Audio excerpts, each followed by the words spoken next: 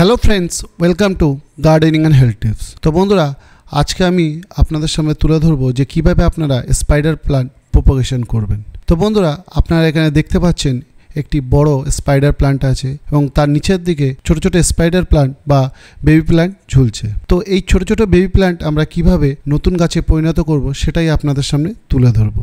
আপনারা যেখানে গাছটি দেখতে পাচ্ছেন, এর মধ্যে অনেকগুলো বেবি প্লান্ট আছে। তার মধ্যে থেকে কয়েকটি কাটিং করে নতুন গাছ তৈরি করে দেখাবো। তো বন্ধুরা, এই স্পাইডার প্ল্যান্ট একটি টোটালি হাউস প্ল্যান্ট শীতের সময় আপনারা বাইরে রাখতে পারেন বাট অন্য সময় কিন্তু এমন জায়গায় আপনাদের রাখতে হবে, যেখানে ইনডাইরেক্ট আলো খুব ভালোভাবে আসে বা বাতাস ভালোভাবে আসে, কিন্তু ডিরেক্ট সানলাইট না আসে, এরকম জায়গায় আমাদের রাখতে হবে। এছাড়া স্পাইডার প্লান্ট হ্যাঙ্গিং বাস্কেটে খুব সুন্দর লাগে। তো বন্ধুরা, এটা একটি খুব ইজি টু গ্রো প্লান্ট মানে লো মেনটেন্সও বলতে পারেন। তো বিগিনার যারা আছে, তারাও কিন্তু এই গাছটি খুব সহজেই বাড়িতে রাখতে পারেন এবং ভালোভাবে মেনটেন করতে পারবেন। এই গাছটি একটি বহু বর্ষজীবী গাছ। একবার যদি আপনি এই গাছটি বাড়িতে আনেন, ঠিকঠাক যদি পরিচর্যা করেন, দীর্ঘদিন আপনার কাছে এই গাছটি বেঁচে থাকবে। তো বন্ধুরা, আপনারা দেখতে পাচ্ছেন, আমি এখান থেকে একটি ছোট্ট বেবি প্ল্যান্ট কেটে নিয়েছি। এবারে আমি এটি জলে প্রপোগেশন করে আপনাদের দেখাবো। প্রপোগেশন বিভিন্নভাবে করা যায়, কিন্তু জলেরটা সব থেকে সহজ হয়, সেটাই আপনাদের সামনে আমি তুলে ধরছি। তো এখানে আমি একটি কাঁচের বোতলে জল ভরে নিয়েছি। অ্যাকোয়াগার্ড বা বাড়িতে আরও ওয়াটার নিতে পারেন বা বৃষ্টির জল নিতে পারেন।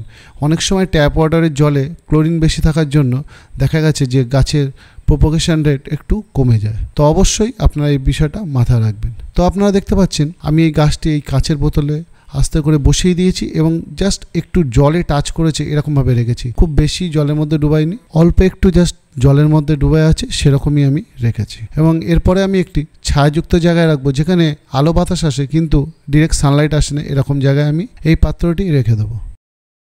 বন্ধুরা, আপনারা দেখতে পাচ্ছেন সাত দিন পর। মোটামুটি ভালোই রুট ডেভেলপ করেছে। এখনই আমরা বসিয়ে দিতে পারি, কিন্তু আমি আর কয়েকটি দিন ওয়েট করব, কারণ কি রুট যাতে আরও ভালোভাবে ডেভেলপ করে। তাহলে খুব সহজেই আমরা যখন মাটিতে বসাবো বা আমাদের হ্যাঙ্গিং পটে বসাবো, তাতে খুব তাড়াতাড়ি গাছটি মাটিতে বসানোর সঙ্গে সঙ্গেই বা পটিং মিক্সে বসানোর সঙ্গে সঙ্গেই গ্রোথটা শুরু হয়ে যায়।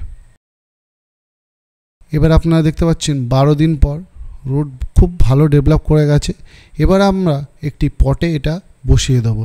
আপনারা চাইলে হ্যাঙ্গিং পটেও বসাতে পারেন বা আপনারা টবেও বসাতে পারেন। এখানে একটি চার ইঞ্চি মাটির টবে এই গাছটি বসাবো। আমি এখানে একটি চার ইঞ্চি পট নিয়েছি এবং একটি ভাঙা টবের অংশ নিয়েছি যাতে নিচে যে হোলটি আছে সেটা দিয়ে মাটি না বার হয়ে যায় সেই জায়গাটা আটকানোর জন্য।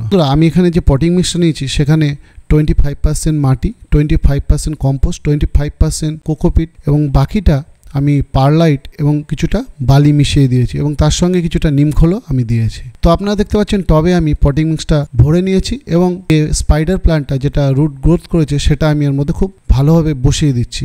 তো এই সময় সবে নতুন নতুন শিকড়টা গজিয়েছে, একটু সাবধানে বসাবেন, তা না হলে কিন্তু শিকড়ে চোট পেলে একটু গ্রোথটা আটকে যেতে পারে। তো বন্ধুরা, আপনারা এখানে দেখতে পাচ্ছেন মাটি আমি ভরে নিয়েছি। তো বন্ধুরা, আপনারা দেখতে পাচ্ছেন পটটি আমি ভালোভাবে পটিং মিক্স দিয়ে ভরে দিয়েছি।